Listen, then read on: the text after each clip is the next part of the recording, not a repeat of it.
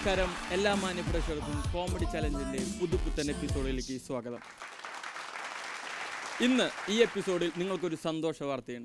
കഴിഞ്ഞ രണ്ട് മൂന്ന് എപ്പിസോഡുകളായി നിങ്ങളെ വെറുപ്പിച്ചുകൊണ്ടിരുന്ന രണ്ട് അവതാരകരെ നമ്മൾ പിടിച്ച് പുറത്താക്കിയേക്കാം ഇനി മുതൽ ഇത് ആങ്കർ ചെയ്യാൻ പോകുന്നത് ഞാനാണ്. അപ്പോൾ പിന്നെ നമ്മൾ പൊളിക്കല്ലേ? ഏ? ഓക്കെ? തുടങ്ങാം.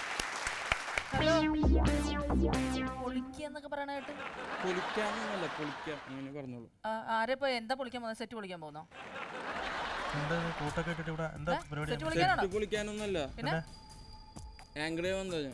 ആര് പറഞ്ഞിട്ട് ആ, ഞങ്ങളല്ലേ ആങ്കേഴ്സ് ഇതിന്റെ നിങ്ങളെ പിടിച്ച് പുറത്താക്കിയത് പിന്നെ എന്തെങ്കിലും ആര് പുറത്താക്കിയെന്ന്? ആരാ? എന്താ ഇവിടെ? എന്നെ ഇവിടുന്ന് എനിക്ക് ഇവിടുന്ന് വിളിയൊക്കെ വന്നിട്ടുണ്ടായിരുന്നു. ആര് വിളിച്ചു? ഈ ഏഷ്യാനെറ്റിന്റെ മുതലാളി വിളിച്ചിട്ടുണ്ടായിരുന്നില്ല ആരാ മുതലാളി?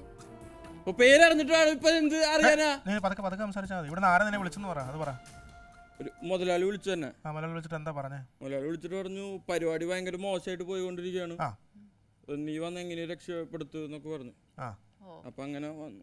രക്ഷപ്പെടുത്താൻ വന്ന? രക്ഷപ്പെടുത്താൻ. ഇപ്പൊ എന്നെ ഇപ്പൊ രക്ഷപ്പെടുത്താൻ എന്നാ പരിപാടി ഇപ്പൊ? ഇപ്പൊ ഞാൻ അടിപൊളിയായിട്ട് ആങ്കർ ചെയ്യണം നിങ്ങൾ എന്തിനു ഇവിടെ അങ്ങോട്ട് അങ്ങനെ മാറുന്നേ? ഇങ്ങനെ ഇറങ്ങി ഇവിടെ. ഇങ്ങനെ ഇവിടെ സമയമില്ല. ഇവിടെ ഒരുപാട് പേര് ഇങ്ങനെ വെറുപ്പിക്കാനായിട്ട് നീ ഇവിടെ ഫ്ലോർ വിട്ട് ഇവിടെ പോയി. വിട്ട വിട്ട സ്ഥലം വിട്ട്. മേത്തോട്ട് തന്നെ എടുക്കുന്നു. അല്ല മേത്തോട്ട നീ എന്തെടുക്കും മേത്തോട്ട. എന്താ പ്രശ്നം എന്താ? കൈ ചൂണ്ടല്ലേ? ആ ആ, കൈ ചൂടി കൈ ചൂടി എന്താ പ്രശ്നം? ഓ നഖത്തിന്റെ ഭംഗി കൈചൂണ്ടാണല്ലേ പിടിച്ച് ഇറക്കി. പോയി പോയി സ്ഥലം വിട്ട്. ചുമ്മാ ഓരോന്ന് കോട്ട് ഒക്കെ ഇട്ടുണ്ട് ഇവിടെ നോക്ക്. ഞങ്ങളുടെ പരിപാടി തുടങ്ങാണല്ലോ പോയി. ഗസ്റ്റ് വന്നിരിക്കും അവിടെ. ചുമ്മാ ചേച്ചി ഇങ്ങട് വന്നോ. കോട്ട് ഒക്കെ ഇട്ടുണ്ട്